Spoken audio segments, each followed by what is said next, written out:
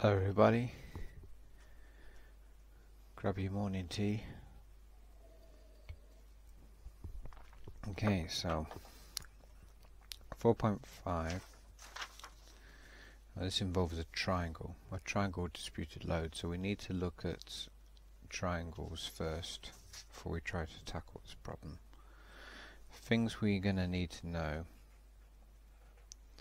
There's 4.5, I'll call it preamble is when I've got a triangle, where is the centroid? I happen to know it's a third away from the base. Probably done at school.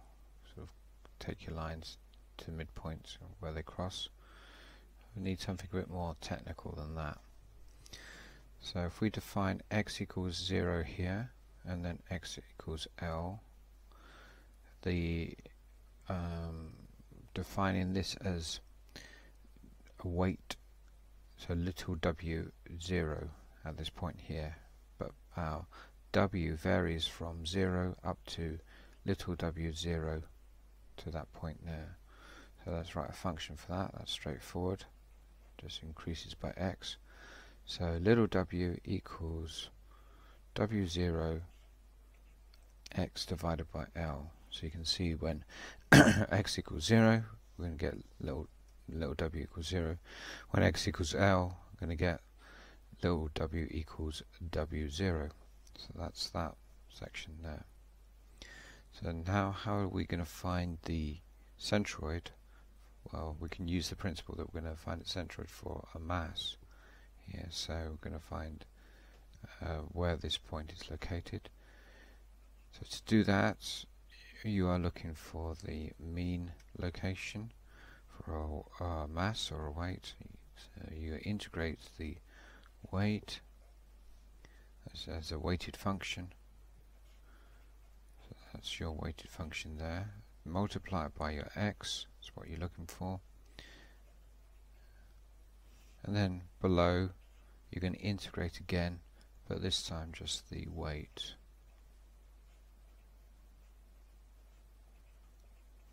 on the bottom there. Okay. So integrate the uh, integrate this term here. We can see that we're going to end up with WO's, WO's cancelling, L's cancelling, L's cancelling, and just ends up as x squared.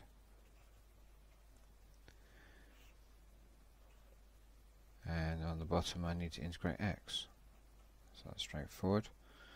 So that's going to give me x to the power 3 divided by x squared a half.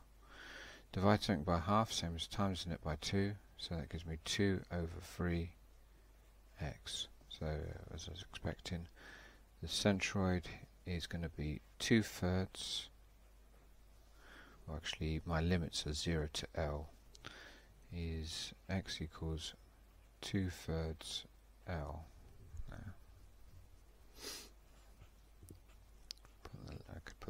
in here, 0 to L. So that's the to deal with the centroid. The other thing that I'm going to obviously want to do in uh, these kind of calculations is look for what the weight is when I cut through the function at a certain point. So I'm going to cut through the, the function at this location x.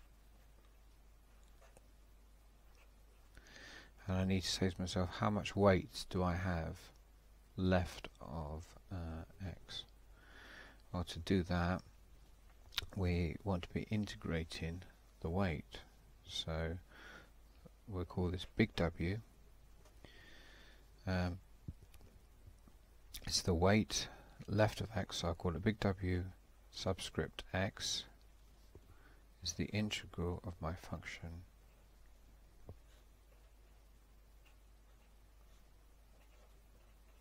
simply that. And it's obviously going to have limits of 0 to x. So that's a constant that's constant. We've got little w o. Integrate the x becomes x squared for 2l right so that gives me a function that uh, how much weight we've got left of us. Notice that when we put in x equals L we end up with WO L divided by 2 so it's the area of half a triangle base times height half a base sorry times height.